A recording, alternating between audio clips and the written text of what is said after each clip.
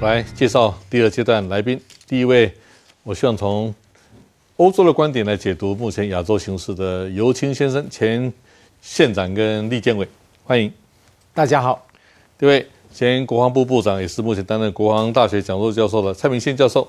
主持人啊，各位观众，大家好。第三，目前任教于台北医学大学通识中心的国防形势专家张国成教授。哎，主持人好，观众朋友大家好。我们跟第一阶段来宾是比较不同，是我们会比较偏向国防问题哈，请大家看，这是最经典的照片了，停战了。好，当然比较两千年跟二零零七年是不是还会延续呢？啊，还是一个正如上一段来宾说，是演很大呢，一个政治秀而已呢？好，我们来做深论探讨。但不管怎么样，正如哲学家康德说的，追求永久和平。还有两种，一种躺在坟墓里面的人，一种是追求永久和平，是理性的最高目标，也是有道德义务。我们先来看国际的最新形势发展。朝韩峰会结束，外界都等着看更大花的美朝和解会登场，但到底在什么时候举行？台湾时间二十八日，美国总统川普在密西哥州的一场造势晚会上有了表态。We are doing things that are good. I think we'll have a meeting over the next three or four weeks. It's going to be a very important meeting. 但究竟具体的时间和地点是什么？川普继续卖关子，媒体则已经猜翻天，从可能的五个地点缩短到两个地点。哥伦比亚广播公司更直指川金会地点不是蒙古就是新加坡。至于日期，多数倾向六月上旬。向来享受镁光灯焦点的川普，更不忘鼓舞群众，为他塑造和平英雄的形象，更成为英国博彩公司二零一八年诺贝尔奖投注清单的第二名。至于谁才是第一名？就是川普口中的火箭人金正恩。过去两人互呛，现在要坐下来好好谈谈。川普不能没有底。台湾时间二十八号晚上八点多，川普先后与南韩总统文在寅、与日本首相安倍晋三通电，除了聊聊朝韩世纪峰会，朝鲜半岛去核化更是关键。大切なことはですね、具体的な行動を今後北朝鮮が取っていくかどうか、 今後日米においてもしっかりと北朝鮮の動向を注視していくということでも一致したところでございます。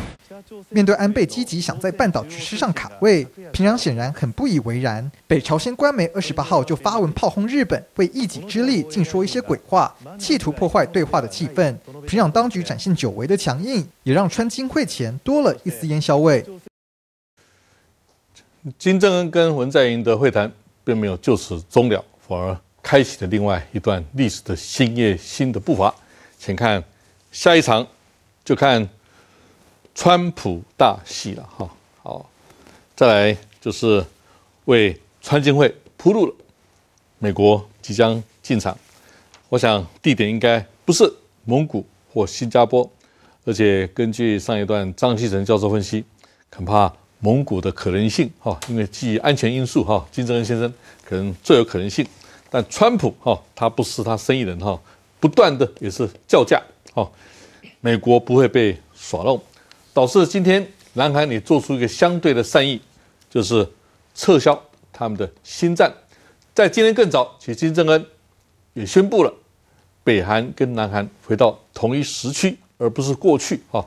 这个北韩提早半小时哈啊，当然最重要就是北韩午夜关闭核市场，邀请美国、南韩见证。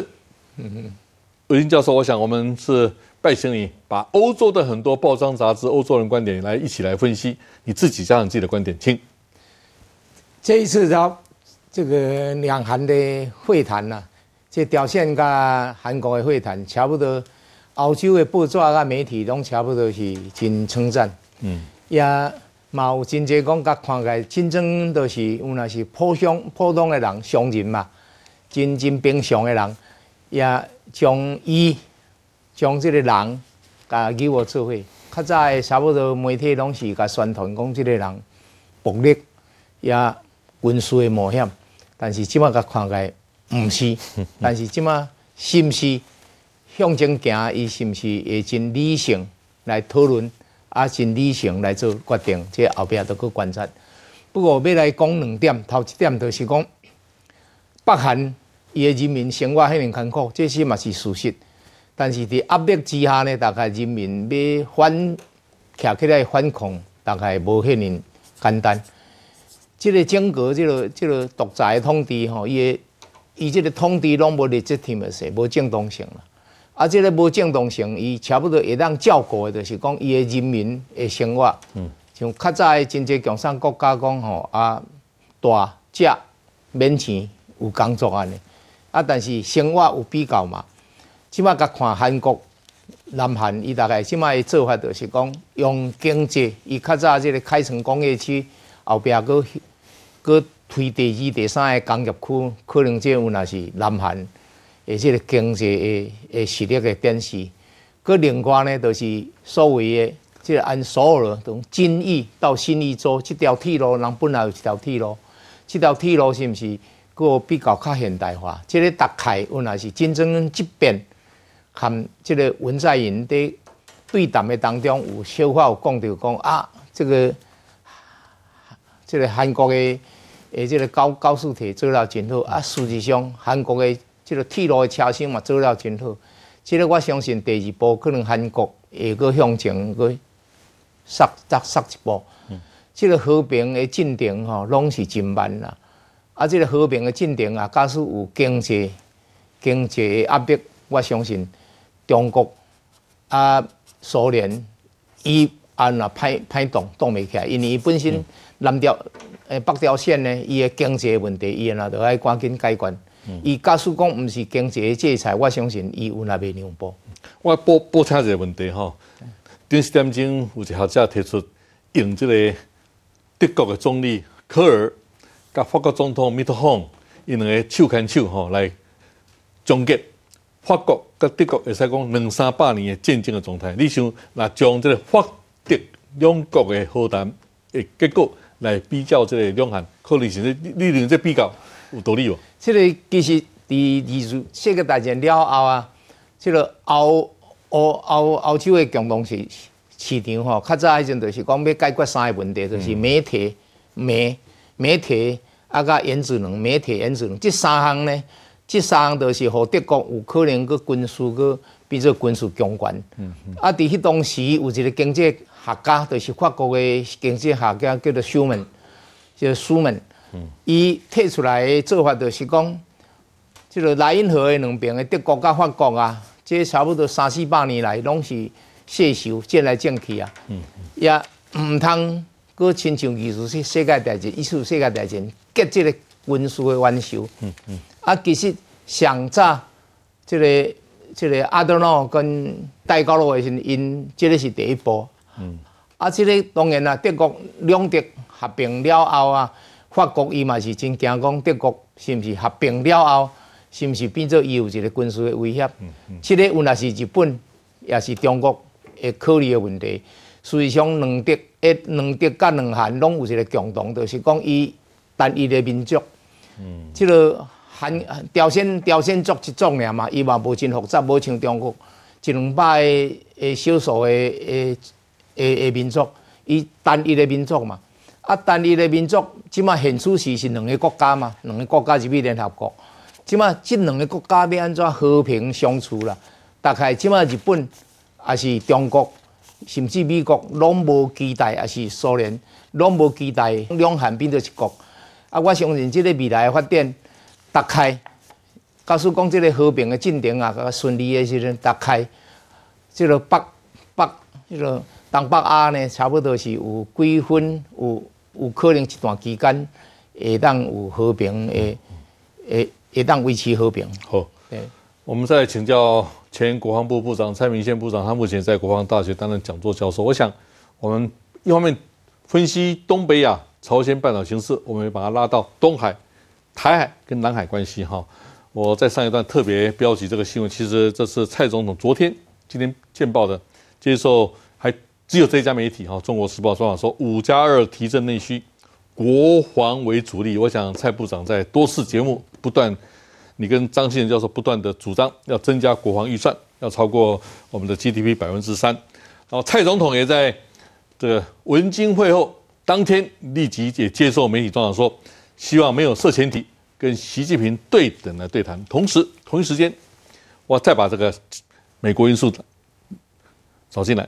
美国参议员提案促对台军售常态化。同一时间呢，这个美国 B 五十二轰炸机在巡弋从关岛然后到广东沿海巡弋，表示他有投射战斧的能力。另一方面呢，也是今天新闻，川普继续深化中美的贸易战，这问题来请你分析，蔡部长。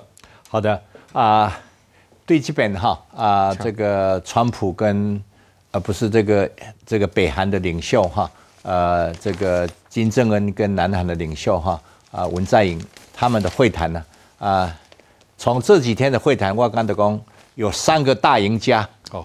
啊，第一个是金正恩北韩，第二个大赢家就是南韩的文在寅，嗯，第三个大赢家就是川普美国的总统。为什么呢？因为经过了这样一个一个啊两韩领袖的对话呢，啊结果显呢，时代的分析讲北韩他过去为什么害怕？他们过去一直在用核试核武啊来来对抗美国，他们西安呢，他愿意来啊这个屈就啊表现得哈这个好像说这个很有智慧的外交家。一叠点，北韩的金正日呢？啊，金正恩呢？以他的最主要的忧虑是在他害怕美国，他可能会轰炸这个北韩，甚至这个进军北韩。那这个是这个这个金正恩呢？他想排除的。第二个呢？他经过了这半年一年多来的经济对北韩的制裁呢？国际哈联合国，他们显然是已经冻北掉，受不了了，所以他希望透过了这样的一个两韩的北韩、南韩的对话呢，能够说服美国为主的啊联合国的这些国家呢，能够对北韩的这个经济的制裁能够撤回。所以这个是为什么？我在想，为什么金正恩呢？他愿意。屈就他自己，从半年前一个独裁的形象啊，经过了三五五个月呢，他愿意屈就啊，来跟南韩啊，甚至对美国示出善意。那南韩的文在寅总统为什么要这做这么这么做呢？他有两个理由。第一个理由就是因为要让这个北韩这个朝鲜半岛去核化，不然的话，南韩呢，北韩。是他的呃兄弟，但是伊那是核武核核子弹的话呢，啊，南韩暗时困的不能够很安心的睡觉，所以他文在寅也希望说去核子这个核核化在朝鲜半岛。第二个呢，啊，文在寅他从去年就任总统，南韩的总统以后，一点一点光，他要制造自己的形象，在南韩成为一个啊没有威胁、没有核子武器的。一个中立的一个国家，嗯，好，而这个是文在寅他希望塑造他自己的形象。那对川普总统来讲，美国的总统为什么这次一直过去呢？啊，一年年一直在骂这个北韩的这个独裁者。那现在呢？啊，光这个独裁者，这个独裁金正恩呢，他是一个一个很聪明啊，很好的外交官。为什么？因为川普从美国的国家战略的地位，他希望。朝鲜半岛能够去核化，啊，去核化最主要的角，这个主角就是金正恩，他要金正恩呢，逼着金正恩呢，透过制裁、透过军事的这些威胁呢，让金正恩屈服。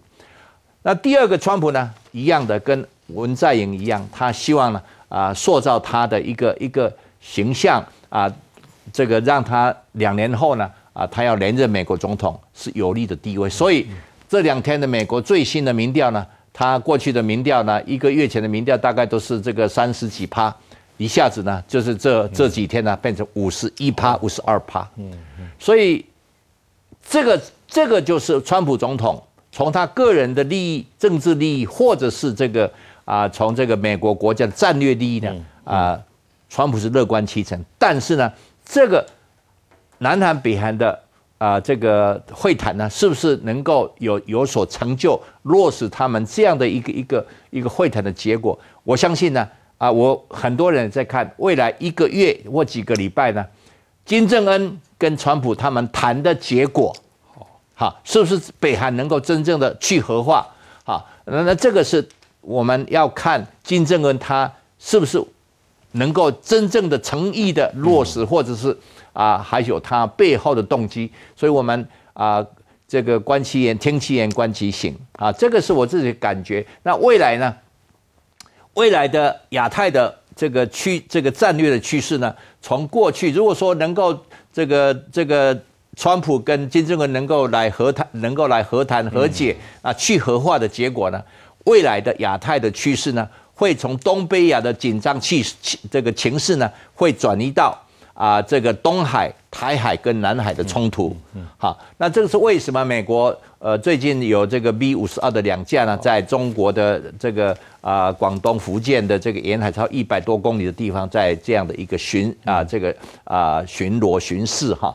所以这样的未来呢啊亚太地区呢，可能美国会慢慢的转变，从东北亚的。这样的一个危机转换成一个台海跟南海的危机的冲突。啊，这个是我的分析哈，跟大家做参考。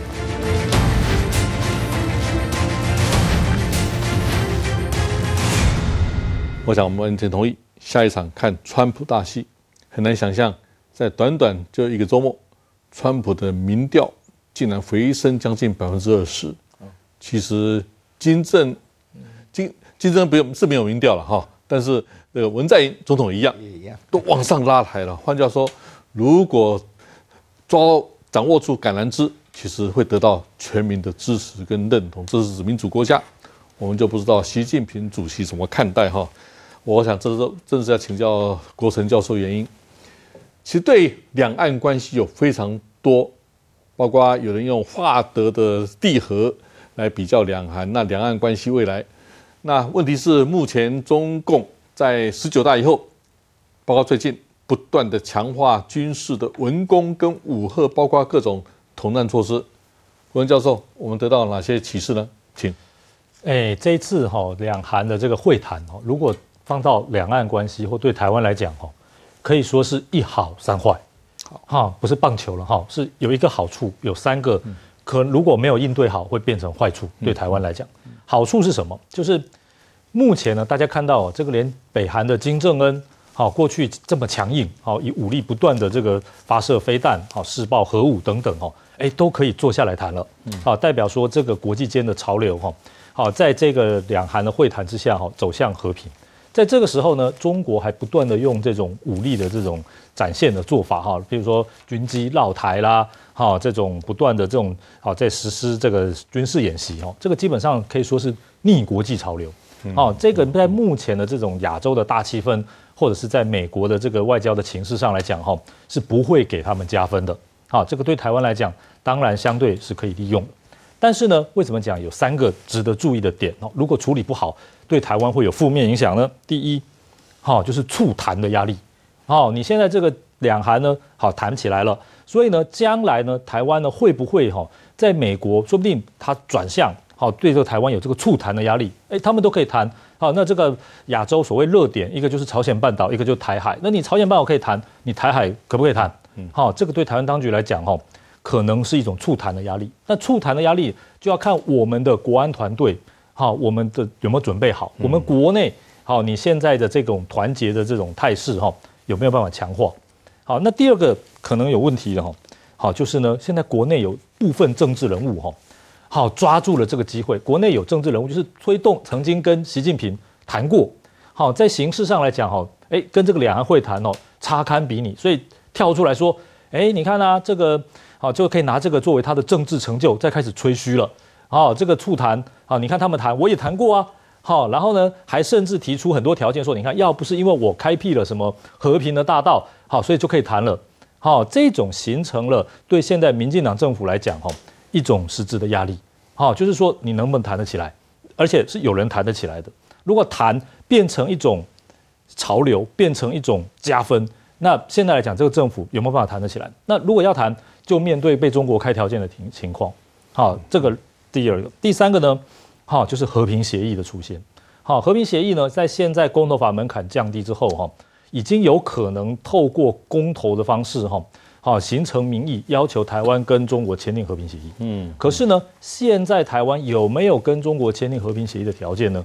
好，这个是可以只讨论的。嗯，啊，至少呢，如果现在就签订了和平协议，那么有可能哈，美国对台湾的承诺、安全的承诺哈，就有可能产生变化。嗯，但是目前来看哈，如果两韩和平协议这个东西吵得很大的话，那会不会反过来形成这个台湾的压力？哈，所以呢，这对于这个两韩的情势哈，台湾的这个政府哈跟执政者除了看新闻之外哈，一定要密切的注意哈，未来会不会有新的促谈的压力？嗯，好，和平协议签订的压力。还有呢，好，国民党的政治人物会不会说，哎，借由这种情况哈，大力推销他过去的，哦，这种会谈，好，对现在政府形成一种压力。好，我想这是很重要。我想国成教授是非常好的提醒哈，自由的代价是保持恒长的警醒。这是美国开国之师有一位开国志士叫做汤姆斯潘恩，他在一本书小说叫《尝试》，他们是说的。我们面对中国的文攻武赫，是不是自由代价很大的？要保持很长的警醒，不能睡着了哈。有一次，我们也不会容忍有人这时候开始吹嘘要促谈，或是把功劳往身上揽，这是非常可笑的事，而且是违反民意的事哈。我们再看一段相当的国际新闻，那我我们下问题拉到台湾跟中国的未来的互动。朝韩领导人世纪峰会后，北朝鲜再次向世界投下震撼弹。不仅国宝级主播李春基宣告无核化，北朝鲜官媒朝中社二十八号更大篇幅报道朝韩高峰会宣言，内容同样包括北朝鲜全面无核化，这在北朝鲜非常罕见，也让各界对朝韩双方努力的成果燃起希望。但尽管北朝鲜官媒提及无核化，南韩方面还是有不少质疑的声音。不仅有民众质疑，南韩的保守派媒体。二十八号也点名北朝鲜领导人金正恩没有在峰会上公开提及无核化的具体步骤，因此对北朝鲜无核化打上问号。另一家保守派报纸《朝鲜日报》更指出，与2005年朝韩达成的协议相比，这次根本是在开倒车。当年北朝鲜承诺放弃所有核武与现存的核计划，还允许外部稽查人员入境查证，但这些金正恩都没有公开表态。如此暧昧的态度。会不会影响接下来与美国老大哥川普的另一场世纪会晤？而就算与美方达成协议，要毁弃核设施、核物与材料，都得花上一段时间。要落实半岛无核化，恐怕无法一触可及。在这一天，有一部新书，这是一位前东德人士叫法兰克所写的哈。他因为他留学金日成综合大学，他懂得韩语，那他成为后来。到美国哥伦比亚大学任教，成为一位可以说是在德国语言德语区了解北韩问题的权威的分析家。他这本书中译本刚好出版，我来特别引用这位法兰克，一位德国的韩国问题专家，他把韩国就朝鲜半岛跟台湾来做比，这个类比非常有趣。来，我特别引述他特别在这个问题，就是我我所必须面对。我来引用哈，他说：台湾与朝鲜半岛不。会沦为列强利益交换的标的吗？过去是哦。好，他请教了，特别是对于台湾的人民而言，了解朝鲜半岛的现况，仔细观察当地的发展尤为重要。为此，本书愿以德国的视角，为台湾的读者在这方面助一臂之力。讲真好啊！如果一位德国的首席韩国问题学者都知道说，台湾跟朝鲜半岛做类比，要引以为戒。我想，同样留德的游戏教授愿闻其详，你的观点。这确实有那是一个真残酷的历史啦。台湾都是因为马关条约啊，所以台湾割让和日本。啊，马关条约对得来，都是因为朝鲜的战争啦，日日日清，都是日本甲中国的。朝鲜的战争啦，所以啊，朝鲜有震动，啊，台湾人就咧惊讲，惊伫遐咧等讲，是毋是美国甲中国，也是朝鲜要解决朝鲜问题的时，会伫遐做筹码出卖台湾？这是台湾人，咱应该都爱有即个警惕之心啦，要要有警惕之心啦。不过，台湾即摆现实是面对即个促谈，我相信这个两韩的和谈了后。国际压力当然是看伫台湾嘛，台台湾台湾海峡的台海两岸，台湾甲中国是毋是有触谈的压力？我认为有。不过咱要面对这个要安如如何应应，要安怎来来来应付呢？头一项就是讲，咱要爱展示讲咱有国防防卫的这个决心啦。咱即马军事预算绝对毋通减少。第二就是讲，咱即马募兵制甲征兵制，征兵制绝对毋通废，着爱征兵募兵两者并用。也第三呢，上第一重要的，就是讲咱即马有真济演习，绝对毋通敢若单单纯用兵役。兵棋推演，应该都爱做实兵演习。即马五六月有这个汉官演习哦，应该都爱展示讲，咱有哪有实兵演习的困难。实际上，台湾五六十年来，差不多这将军拢差不多毋捌小台过啊。这个一江山，王生明上校少将将军，迄战了后，大概差不多毋捌战，敢若是金门炮战安尼尔，毋捌战过。所以说，咱即番都要展示讲，咱有国防的决心。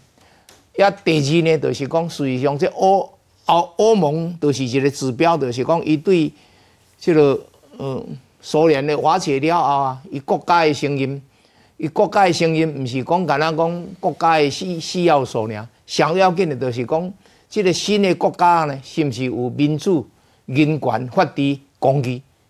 这民主、人权、法治、公义，差不多是即个。欧洲的人，欧洲欧盟国家在承认新的国家的一个、一个、一个、一个准，一个、一个准绳，一个标准。啊，咱即话，咱台湾一旦挺身而出来，就是讲，咱台湾差不多，这个民主的转型是一个真成功的典范啦。德国。有一个欧洲有一个真大的媒体的基金会，叫做贝德斯曼。贝德斯曼是一个真大的诶，即个媒体基金会。也伊伫两千零七年做到即马，即十几年来做即个民主的转型，世界民主的转型，啦，差不多九十八还是七百个国家伊的民主的转型，做一个做一个 index，做一个指标的 index。台湾拢是标准，拢是第一名、第二名、第三名。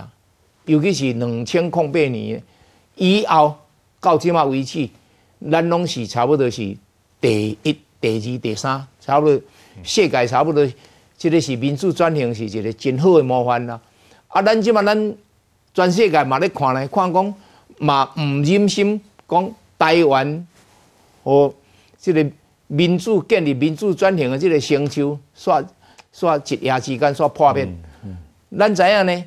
这个最近有这个外交期刊内底，较早做过一个助理副国星，叫做 Campbell，Campbell 发表四月诶一篇文章的台湾甲犯做讲或者惩罚中国啦。啊，伊事实上就是讲，伫讲讲美国含中国两边贸易让利，伊的期待 expecting 就是即个即个期待是啥？期待就是讲中国会当走向民主。走向人权、建立法治的国家，啊，当然，美国人经过这二三十年来，的经济等于是让利了后，中国的经济好起来，啊，所以变做较早的时阵，日本甲美国的贸易战内底，就是差不多是三百七十亿的美元尔。即卖逆差是偌济呢？中国甲对美国。美国对中国的逆差呢，超过四千亿，哦，四千亿。啊，这么大的这个贸易逆差呢，但是中国嘛是还阁期待讲，美国嘛是咧期待讲，中国会当走向民主、人权、甲法治国家。啊，咱甲看台湾海峡的台湾，台湾海峡的台湾，即卖已经是建立一个民主、人权、甲法治的国家。吼，毋是讲像美国人咧期待，中国做袂到。啊，台湾已经做会到，我相信世界国际社会拢是目睭咧看，看讲嗯，啊，台湾即个成就无应该互伊破灭，啊，互伊失败，啊，这是一个真好的示范，毋通变做一个歹的示范。所以咱建立这个防卫的决心，啊，咱提出咱台湾这个人权、民主、法治，我相信这是一个真大的卖点。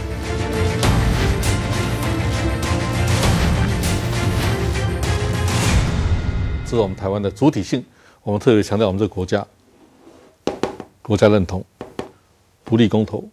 我特别强调，这是我们的这个全节目的主轴、重中之重一个核心价值哈。刚才尤先生提到中美贸易摩擦，这今天最新新闻，川普继续把这个晶片的问题，他认为经济安全就是国家安全的定义，他如此定义。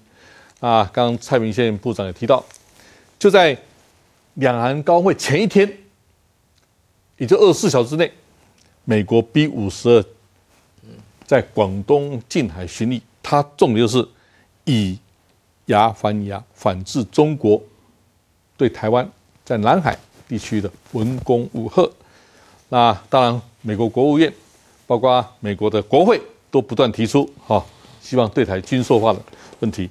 那蔡总统在今天也接受一个报纸独家专访，提到，这是这是我想这蔡蔡教授不断提出的国防主力的问题，乃至两岸国家领导者的见面，是不是请这个讲座的教授来帮我们评析？请啊，好的，啊，从两韩的领导人的会面，这几讲啊，有足者啊人你讲，哎啊。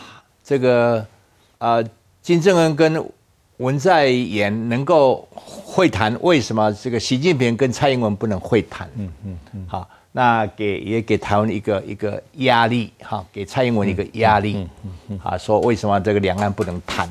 啊，不能接受中国的这样的一个条件，啊，一个中国的条件。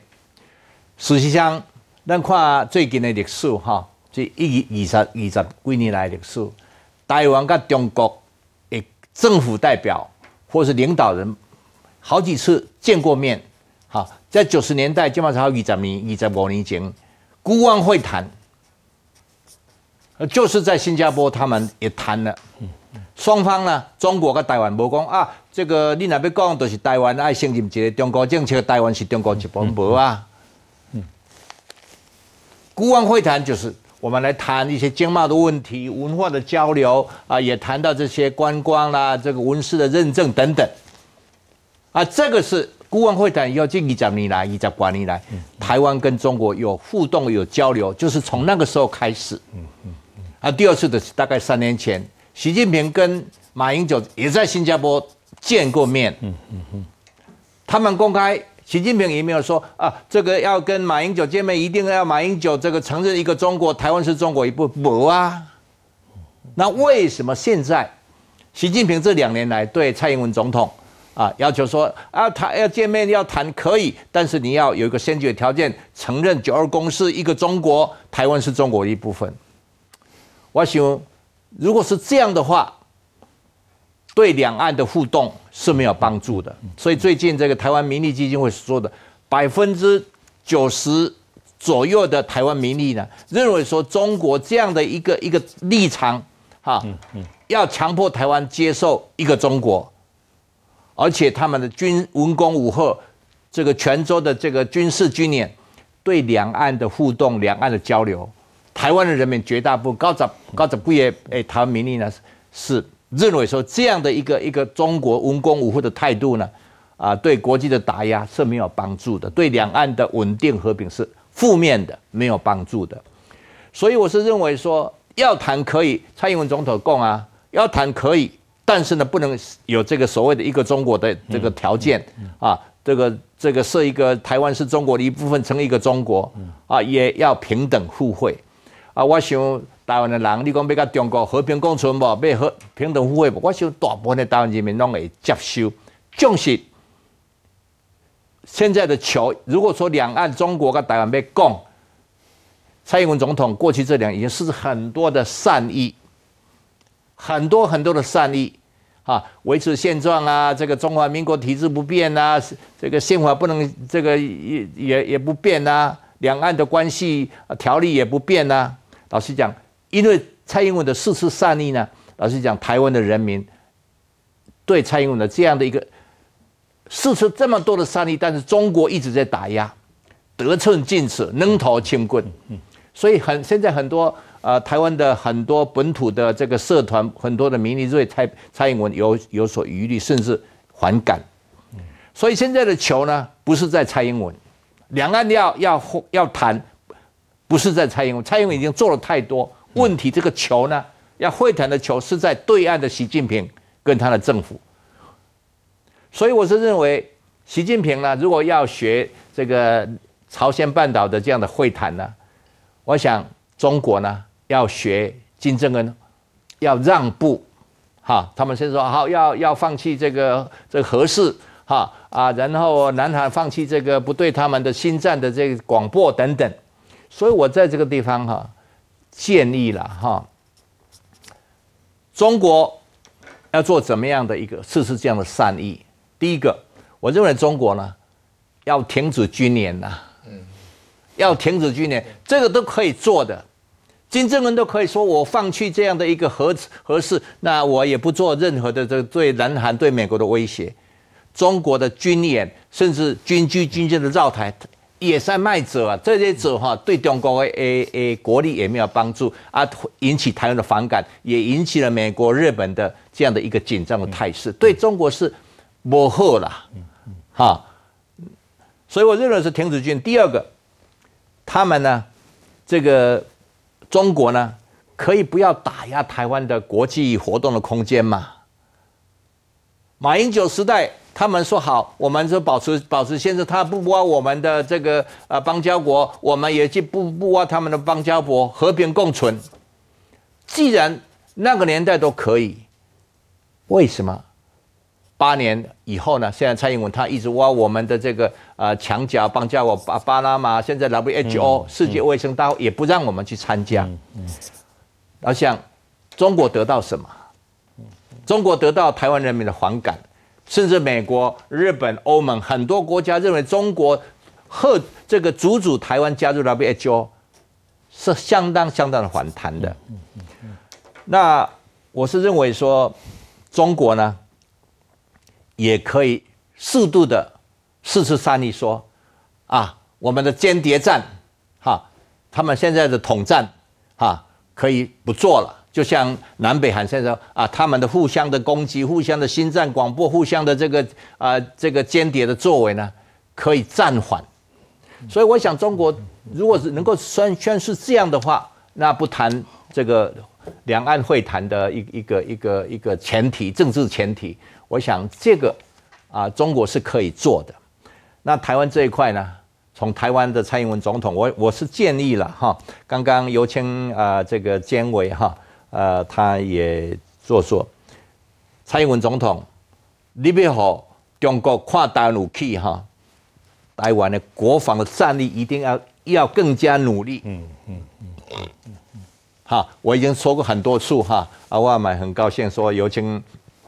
啊，不属于他，也他也同意国防预算十年前就是三千三百亿，为什么十年以后还是三千三百亿？嗯嗯，十年前是国防年度的国防预算是三千三占我们的 GDP 的二点七、二点八，那现在三千三百占我们 GDP 只有一点七、一点八都不到。嗯，然后征兵我们不能放弃，哈，因为从国家战力。如果废弃征兵的话，那我们全民国防，嗯嗯，全民防卫力量的会相对的，所以台湾要加强。第二个，我认为解决台湾的问题哈，解决台海的问题，不是只有台湾跟中国的问题，因为台海哈，你看每每一天好几百只、排几百艘的军舰商船通过台湾海峡，飞机呢更不要讲，包括民航机，上千架的民航机。经过台湾或者台湾降起这个起降，所以我想美国还有国际法常常说，国际的公海有自由航行权，国际的公这个领空呢，这个不是领空，国际公海上的这个也是一个自由飞航的区域，这个是国际法，每个人都要每个国家都遵守的，所以要解决要看台湾海峡的危机呢，要把整个。扩大到台湾以外的亚太地区的和平稳定，好，所以未来如果要谈判的话呢，我是认为说要跟美国、跟日本还有其他国家共同来努力。礼拜三我会从整个东北亚形势切入，邀请林秋山、蔡增佳跟陈永峰教授，会特别把刚刚蔡明宪部长所提出问题，我来做一个切入的解析哈。在十天之前，前立法院长王金平院长来我们这节目专访。那中国境内一个媒体叫中评社，也把那个内容做了一番评析。他也特别，其中有说对中方中南海对台湾提出这个王道哦，说王霸之变那个王道霸道的王道其实这个诉求非常好的，包括王建民院长提出九二共识问题，好，我不做赘述。我们也希望很多翻墙进来看或者监看我们节目的中南海当局，我觉得不管尤清跟蔡明宪部长，他们都是在台湾我们台湾的反对运动或民进党执政者里面非常资深的前辈，他们的见解有它代表性哈。啊，当然，为什么台湾不能接受一个中国原则或九二共识呢？你想想看，台湾跟中国都是谈判的主体，要把台湾当成谈判的标的物，那台湾怎么谈嘛？就一中原则九二共识，就是等于叫台湾。你要举手还举脚投降而已哈！我想在前这国成教授从过去中方运用北韩来牵制美国，现在北韩可能落空了。那在这种形势下，中美台三角关系，来你怎么来预估？请未来我的判断是哈，中方会集中力量哈放在对付台问题，因为呢过去这个朝鲜半岛问题哦有一个印象就是美国要透过中国解决，嗯，这个才能够解决北韩问题。现在看来哈，北韩自己。好主主导性越来越强，所以好这个恐怕落空。那么中国呢，在这个相对比较失去面子、边缘化的情况下，他一定要在台湾问题上哈有所表现。刚才呢，主持人提到那个德国的知名学者的作著作哈，提到说台湾呢要重视朝鲜半岛，啊，这个是非常的正确。但是长年以来哈，不管是哪一党执政，我们可以看到哈，驻日代表哈都是重要人士。啊，驻日代表都是重要人士。可是呢，不管民进党还是国民党执政，驻韩代表是谁？好，现在台湾社会，你说驻日代表，大家都知道，谢长廷先生。嗯，好，之前也是像冯继台先生，好，这些都是知名的人士。但是驻韩代表是哪一位？好，这边绝对不是在说我们驻韩的代表处还是驻韩代表不认真不用功，而是说长年以来我们对这块哈重视程度太低。嗯，啊，所以将来哈在外交上，我们怎么样强化好跟这个南韩的关系哦？我觉得很重要，不是说因为他跟我们竞争的很激烈，我们就不喜欢他。好，我想这很重要。那第二个讲到国防哦，刚才两位好这个前辈，两位部长级的这都讲到好台湾的国防问题。实际上，台湾现在国防问题很大。好，第一个呢是同盟不足。好，现在呢好文在寅跟金正恩谈判，他靠的是什么？韩国也是有实力啊。好，他的空军、他的海军、他的陆军，不管是飞机、战车、舰艇的性能，都是优于北韩的。好，他的国力也优于北韩，所以北韩只要不动用核子武器，韩国呢基本上在传统军力上它是必胜的，所以它后面有这个屏障，而且还有韩美的同盟，还有联合指挥部。那相形之下，台湾的同盟是到那种连这种美国是不是要常态化军售台湾，这个都还在讨论，还要被拿出来讨论，跟他们有这个稳固的同盟，好，韩国有足够的外交关系，有国防研发的实力，还他军力就具有优势，这怎么比？所以他的实力哈。是他今天能够跟金正恩谈的一个主要原因。台湾今天有这个实力嘛？这很重要。第二哈，就是我们的国防装这个装备哈，韩国呢，它在军事上是优于北韩的，在传统军力上。可是我们现在好跟中国相比，传统军事上武器的性能数量有优于他们吗？我想这个问题很简单。那么好，这个不断的有提出说哈，你要这个恢复征兵制。好，恢复征兵制当然是减少国防人力支出的一个非常重要的方法。可是呢，我们看国军。他的训练也好，他的管理也好，哈，好，这个当过兵的人，不管是自愿还是义务役，哈，对国军的评价，我相信大家都很清楚。这个方面不改善，好，我认为这个兵役制度就算改回征兵制，哈，台湾有足够国防的实力吗？好，第三，哈，就是在于一个更根本的问题，军心士气的问题。好，这次谈判呢，好，韩国的参谋组长郑景斗，他是空军出身的，他跟着文在寅总统一起去，可是呢。好，他不向金正恩敬礼。他说，身为国军大韩民国国军军阶最高的将领，目前敌对状态没有消除，他不能向敌方的主帅敬礼。好，像这样子的概念，哈，在台湾呢是这样吗？不是吧？我们看到，哎，好，这个很多退役的将领，尽管他们退役，但是他们的行为是不是可受非议？这样子的军心士气，哈，要怎么样能够在这个未来的两岸当中，哈？博弈中保护台湾的利益哈，我认为好，现在执政当局哦，还是需要多加的努力。嗯，刘英教授，我想长期你从事反对运动从党外赛到现在，你觉得目前我们政府当局，包括这个蔡总统哈，其实他也，我想我们的舆论也很大压力给他，要提升国防战力，能不能对蔡总统做一个具体建议？请。现在最最具体的就是国防经费不能减少。好啊，征兵制。还是要继续推动。